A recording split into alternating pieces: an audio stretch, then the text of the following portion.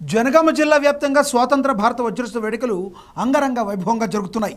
RTC చౌరస్తా R and B guest house Nehru park కోడెల్లో ప్రజలు స్వచ్ఛందంగా సామూహిక జాతీయ గీతాలపన చేశారు ఈ వేడుకల్లో జిల్లా collector Shivalingaiah ZP chairman Sampath Reddy municipal chairperson Jamuna పలువురు జిల్లా అధికారులు విద్యార్థులు పాల్గొన్నారు.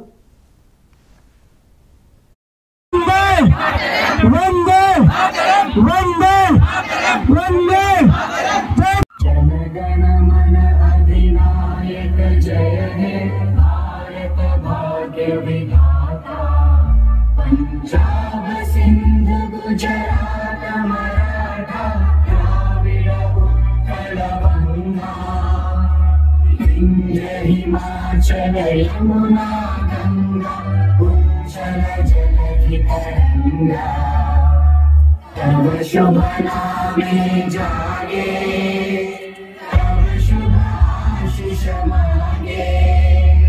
तव जय गाथा जन गण मङ्गलदायक जय हे भारत भाग्य विधाता जय हे जय हे जय हे जय जय